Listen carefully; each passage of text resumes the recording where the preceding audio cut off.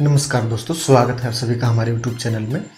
दोस्तों, आज की इस वीडियो को लास्ट तक ज़रूर देखिएगा, बिल्कुल स्किप मत कीजिएगा, क्योंकि आज मैं आपको गूगल फ़ोटोज़ की फाइव ऐसे सीक्रेट सेटिंग के बारे में बताऊँगा, जिनके बारे में शायद आपको नहीं पता होगा। तो वीडियो को शुरू करने से पहले आपसे एक छोटी सी गुजारिश है कि अभी तक इस चैनल को सब्सक्राइब नहीं किया तो सब्सक्राइब कर लीजिए, और साथ ही बेल वाला आइकन को भी प्रेस कर दीजिए, जिससे नया वीडियो डालो तो उसका नोटिफिकेशन आपके फ़ोन पे सबसे पहले पहुँच सके। तो दोस्तों गूगल फ़ोटोज़ की फाइव सीक्रेट सेटिंग जानने के लिए अपने फ़ोन में गूगल फ़ोटोज़ नाम की एप्स को ओपन कीजिएगा। दोस्तों, शायद आपने कभी ना कभी ज़रूर महसूस किया होगा कि आप अपने फ़ोन में एक जीबी डाटा यूज़ भी नहीं करते हैं, लेकिन आपकी वो एक जीबी डाटा ख़त्म हो जाती है। तो उसका रीज़न है ये गूगल फ़ोटोज़ जी हाँ दोस्तों, आपने सही सुना, उसका रीज़न है ये गूगल फ़ोटोज़ होता क्या है कि जब भी हम अपने फ़ोन में गूगल फ़ोटोज़ नाम की ऐप में अपनी ईमेल आईडी और पासवर्ड डाल के अकाउंट क्रिएट करते हैं तो हमारे फ़ोटो और वीडियो गूगल फ़ोटोज़ पे ऑटोमेटिक बैकअप होते रहता है।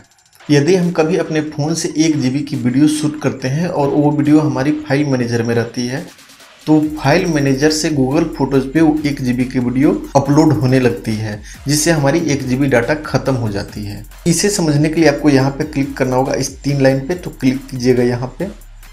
तीन लाइन पे क्लिक कर देने के बाद आपको यहाँ पे एक ऑप्शन दिखलाई दे रहा होगा सेटिंग्स का तो क्लिक कीजिएगा यहाँ पे सेटिंग्स पे।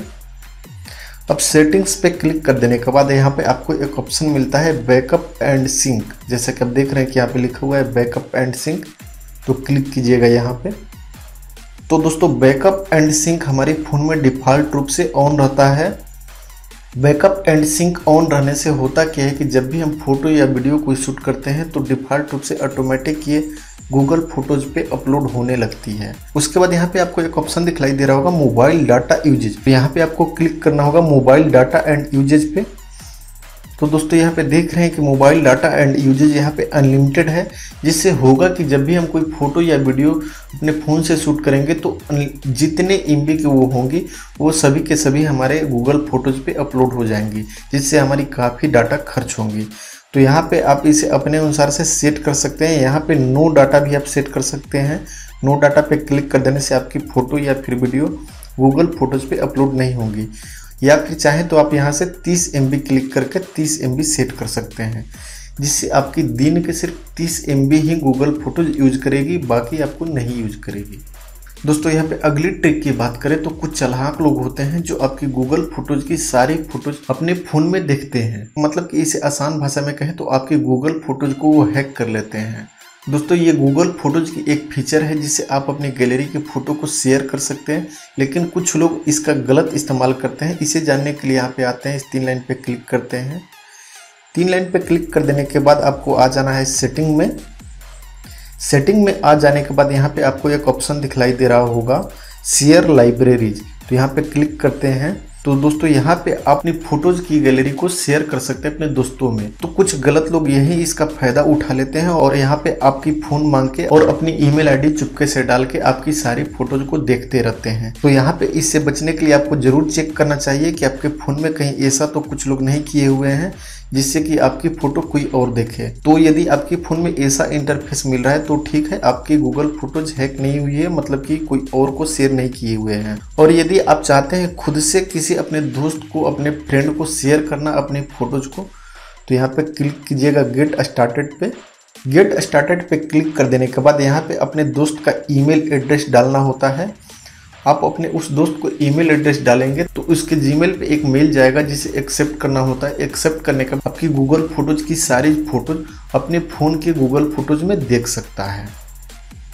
दोस्तों, इसके बाद अगला ऑप्शन है ग्रुप सिमिलर फेस इसका मतलब कि आप कहीं पे जाते हैं स्कूल में जाते हैं रेस्टोरेंट में जाते हैं या फिर होटल में जाते हैं अलग अलग जगहों पे पिक्चर को क्लिक करते हैं।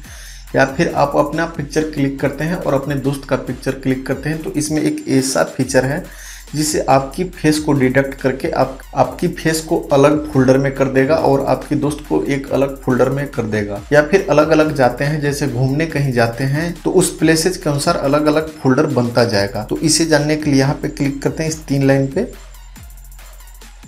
तीन लाइन पे क्लिक कर देने के बाद आ जाना है सेटिंग में। सेटिंग में आ जाने के बाद यहाँ पे आपको क्लिक करना है ग्रुप सिमिलर फेस पे। तो दोस्तों डिफ़ॉल्ट रूप से ये ऑफ़ रहता है, इसे आपको ऑन कर देना है।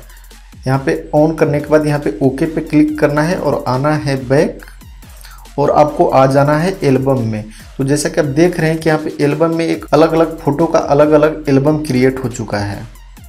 दोस्तों, इसके बाद इसमें सबसे मज़ेदार फीचर कहें तो यदि आपकी फ़ोटो डिलीट भी हो जाती है तो आप बिना किसी एप्स के उसे चुटकियों में रिकवर कर सकते हैं, चुटकियों में उसे वापस ला सकते हैं। फॉर एग्ज़ाम्पल के लिए मैं इस फ़ोटोज़ को डिलीट करता हूँ। तो ये फ़ोटो हमारे यहाँ से अब डिलीट हो जाता है। जैसा कि आप देख रहे हैं कि ये फ़ोटो यहाँ पे नहीं दिखलाई दे रहा है। तो इसे वापस रिकवर करने के लिए यहाँ पे आपको क्लिक करना होगा इस तीन लाइन पे। तीन लाइन पे क्लिक कर देने के बाद यहाँ पे आपको एक ऑप्शन दिखलाई दे रहा होगा बिन का। तो यहाँ पे क्लिक कीजिएगा बिन पे। तो यहाँ पे आप जो भी फ़ोटोज़ डिलीट करते हैं, वो फ़ोटोज़ यहाँ पे बिन में साठ दिन तक रहता है। साठ दिन तक आप उसे रिकवर नहीं करते हैं तो यहाँ से परमानेंटली डिलीट हो जाता है। तो इसे रिकवर करने के लिए इस फ़ोटो पे क्लिक करते हैं और उसके बाद आपको क्लिक कर देना होगा रीस्टोर तो आते हैं बैक और यहाँ पे देखते हैं कि वो फिर से हमारा फ़ोटो आ चुका है। अब दोस्तों, अगले ट्रिक की तरफ़ बढ़ने से पहले अभी तक इस वीडियो को लाइक नहीं किए तो लाइक कर दीजिए और साथ ही चैनल को सब्सक्राइब करके बेल आइकन को प्रेस कर दीजिए।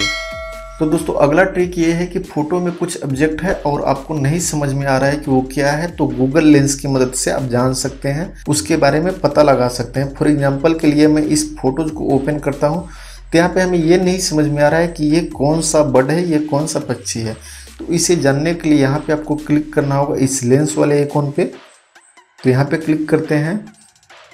यहाँ पे क्लिक कर देने के बाद इस फ़ोटो से रिलेटेड आपको बहुत सारे फ़ोटो यहाँ पे मिल जाते हैं।